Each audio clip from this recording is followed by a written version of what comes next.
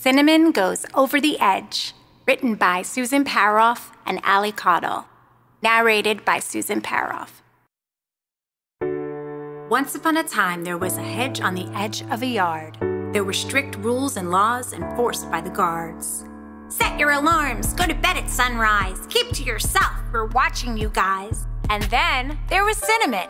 She was different, spunky, and spicy. She was fired up to dance and asked everyone nicely.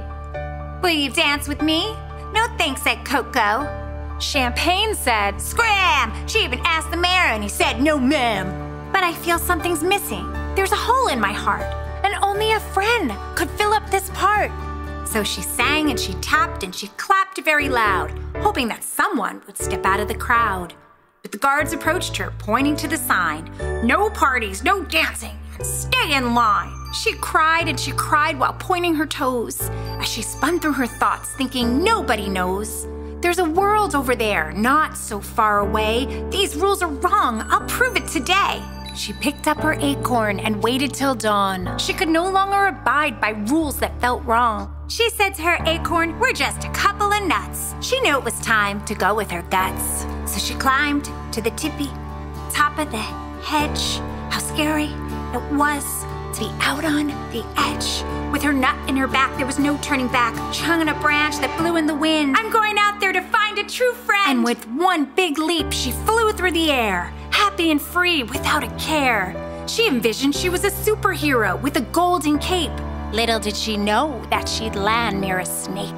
She slid on her belly and they met face to face. Please don't eat me, he begged her. I'm not good to taste. Surely I won't eat you. I'm just looking to dance. How about a tomato? As he put her in a trance. Entranced, she fell into a fog and dreamt that Champagne and Coco were her bestie hedgehogs. Their friendship had power from the moon to the stars. They were unstoppable. They were superstars. While Cinnamon snored, her mouth made a bubble that popped as she was scooped up by a shovel. She woke up in the dirt as a wheelbarrow rolled. An earthworm inched towards her with a smile so bold. Funny meeting you here. What is the chance? Good morning, cute earthworm. Would you like to dance? The earthworm nodded his head, saying yes, as a bird snatched him up and took him to its nest. Cinnamon started to panic with her spikes in a bunch. I hope that bird doesn't eat him for lunch. Her eyes swelled up like red jelly beans. She started to feel angry because life was so mean. She questioned why she wasn't like all the rest. But she said to herself, Be strong. This is just a test. She swayed and she shook from the right to the left. And when the wheelbarrow stopped, she no longer wept. She stood up to dust the dirt off her shoulders as Franny the fox jumped down from a boulder. Well, hello, delicious one. I'm going to eat you, yum, yum, yum. I'll pick off every single spike so I can savor every bite. Her heart started racing, her mind did a twirl. How could I have been such a foolish girl? She wished she had listened to the guards and their laws, because now she was a ball inside Franny's sharp claws. Ouch! Franny screamed as she howled to the sky. That big queen bee fell from her grip to the ground, rolling and rolling, not making a sound. She felt so homesick. She reached for her nut. She held it tight and said, I'll get us out of this rut. She missed the hedge and wondered what life was like.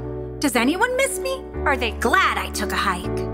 Have you seen Cinnamon? Champagne asked Coco. No, I haven't seen her. Why? Where did she go? She's not sleeping, not dancing. I even asked Dr. Brown. He said he hadn't seen her around. Oh, that's strange. She's always bugging everyone, wanting to dance and having so much fun. But is it such a bad thing to be silly and play? Yes, I think so. At least that's what they say. Splash, whoosh. Cinnamon landed in a sea of a giant puddle owned by Mr. McGee. Slop! Lick! Stop! I'm not a stick! Put me down, silly dog. Can't you see I'm a hedgehog? I know, said the dog. I have a friend upstairs. You'll meet her right now. She's combing her hairs. Plop! she dropped to the bottom of a cage. You're just in time. Come watch me on stage. Hey guys, it's me. We hope you enjoyed this preview. To continue listening to this audiobook on Google Play Books, use the link in the video description.